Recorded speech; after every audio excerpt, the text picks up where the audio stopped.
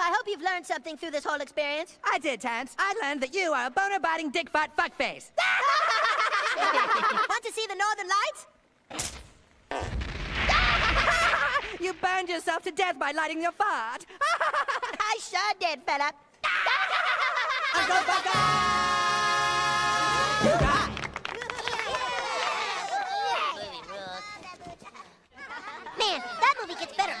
I see it. Hey! Yeah, but you know what? That whole part about lighting farts is bullshit. You can't do that. No way. Okay, Kenny. I'll bet you a hundred dollars you can't light a fart on fire.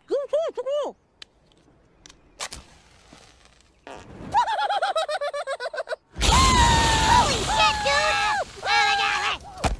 Ah, shit! Ah, shit! Help! Somebody do something! Ah, this stick is on fire!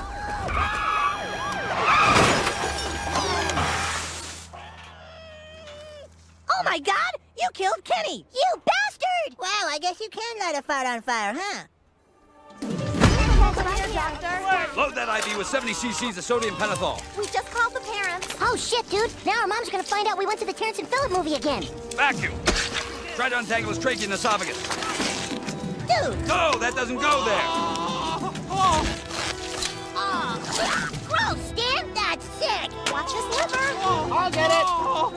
We have precious little time left, people. We're gonna lose him soon. Doctor, his heart stopped! Let's get it out of there. We need to zap this, quick. Who's making a potato? My bad, sir. I missed lunch. Damn it, I'm not gonna lose this kid. Close him up. We've done all we can. The rest is up to God. Kenny?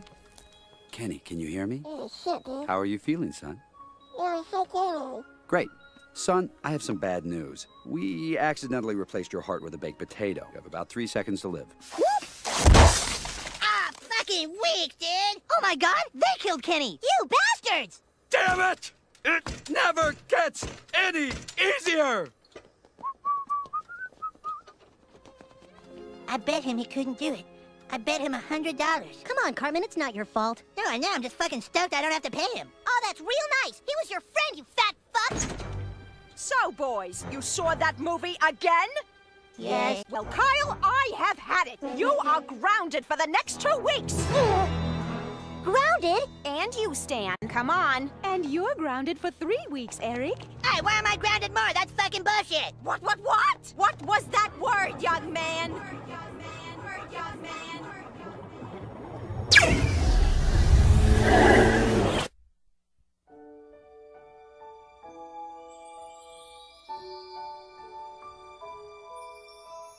Little boy at peace. What is this place? Beyond the stars. Open up your eyes. What are these things you're moving toward? Head so full of wonder. Worries in the past. Could it be that you are free at